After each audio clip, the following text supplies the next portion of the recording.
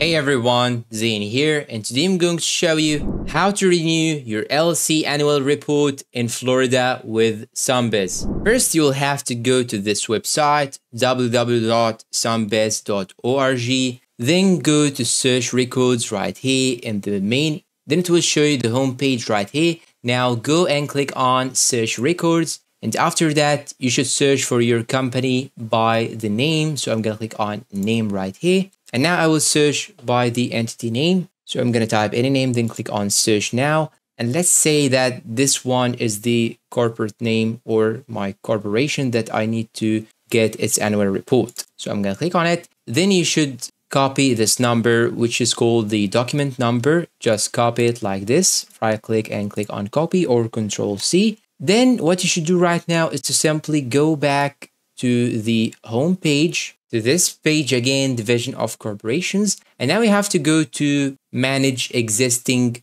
business. So just hover over it, then click on file annual report. Then here, as you can see, we have this page. Now you should click on this button, click here to file your 2024 annual report. Just click on it. Then it will jump you directly to this page. Now you have to paste the document number that you have copied before. So I'm gonna right click, then click on paste right here, or just use the control plus V buttons, then click on submit. After clicking on submit, it will show you this page. Now click on continue. And now it will show you all the details of your annual report. And now we have just to review all of this information. So you need to make sure that all of this information is accurate. So after checking, you can simply click on move on to the final review. Then it will show you this page right here. Now you have to type here the name of the individual signing here. And here on the top, you will find the filing fee. And after filling data, you can simply click on save registered agent. And down below right here, you will have to type your signature.